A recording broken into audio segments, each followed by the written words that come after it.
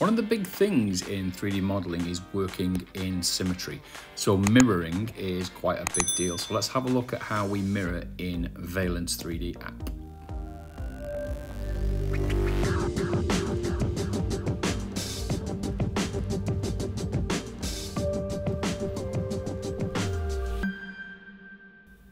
Okay, so first of all, I'm going to show you what we don't do. So I've opened up just a default cube. So I've come down here and I've just said cube. So the cube is in the scene.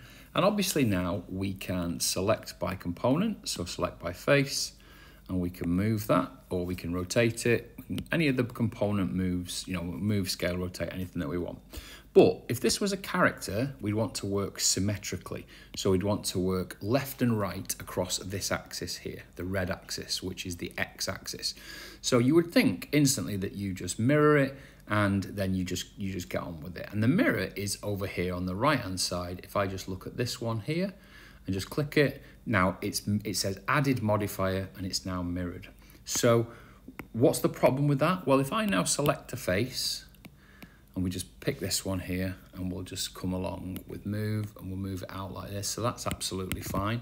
If I move it down, something's really off. So what's happening there is it's mirrored the whole cube. So everything on the left is also on the right and everything on the right is also on the left. So you're seeing what's, what's in effect almost double.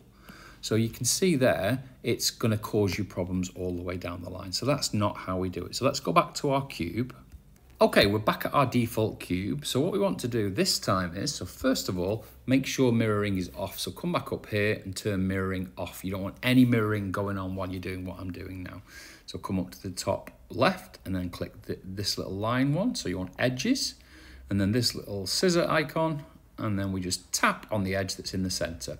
And what that's going to do is it's going to split it down the center left and right across this axis here, which is your x-axis, the red one. You can see there It says red and X. So that is the X axis left and right across the screen. Very normal in most programs.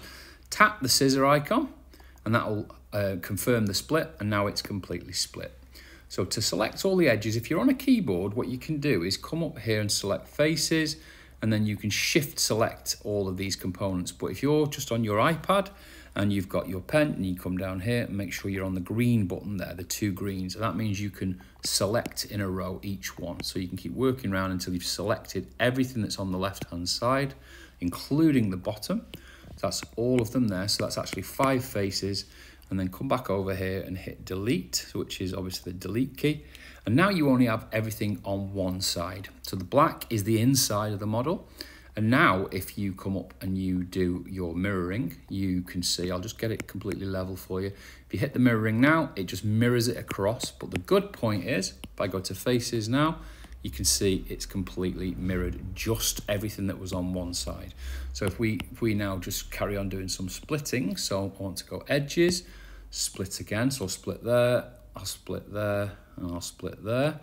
And anything I move now, so if I now go to points, and select any of these points, just watch both sides, you can see it mirrors it perfectly and you've got none of that duplication going on. And that's how we basically mirror something that's going to be, or usually, um, for me, it's characters and creatures are done this way. But obviously, if you're doing a car, you're going to want to do that. If you want to do a vehicle, anything that's symmetrical is how we do it like this. And then from there, you can use all of your normal, you know, uh, everything that's on this side. So I might use, for example, the subdivide and that gives me the rounded um, uh, basically the, the, the subdivided look so it rounds everything off so it's it's it's smooth. Now one thing you do have to be careful of is you can see where that red thing is which is the center line. In this program at the moment it doesn't snap permanently to it. In blender it's called clipping um, in other programs, it just snaps it to zero on X. So that means zero across this axis. And it means that when you move around, it won't move off that axis or move across the opposite way. So you just have to be aware of that one. I think that will get fixed quite quickly in, in some of the new updates as, as they come along because it's such a an important part. For a character modeler, that's almost essential. You, you almost can't model like this without thinking about it all the time. And if we had a smooth as well, it would smooth it off this axis, which, which obviously wouldn't work. So that will almost certainly come very, very soon. And that's it. That's how we do mirroring. Um, there is one other thing I want to show you. So I've just brought in a sphere. Now, if I if I wanted to do the sphere and I wanted to work on both sides, I'd do exactly as we did with the cube. But say, for example, I wanted to move it across to one side and mirror it. So maybe I want two spheres, one on this side and one on that side. What we need to do first of all is get this pivot point into the center. If we come down here, so select the model, come to commands, and if we then do apply transform and say confirm, I turn recursive off and I hit conform, uh, confirm, sorry, and then it puts the pivot to the center of the world. Now, when you do your mirroring, if you go mirror, it mirrors it from this center pivot point here. And again, this is not like Blender in terms of there's uh, there's no 3D cursor yet or anything like that, but that you know, and there's no ability to move this cursor independently yet in this current version, but I think that will come very very quickly as as a lot of people start requesting it. I think that will be one of the one of the things that comes along very very quickly. But as you can see, you can mirror individual parts that are off this center line, and again to do that, just change the pivot point to the center. How that might work, both of those might work on a character is, so for example, there's an example of the arms of this praying mantis. So the arms are built on one side and then mirrored across. So I've got them in the center. Um, but the body, as you can see there, is mirrored across the center line, or it was when the when the scene started.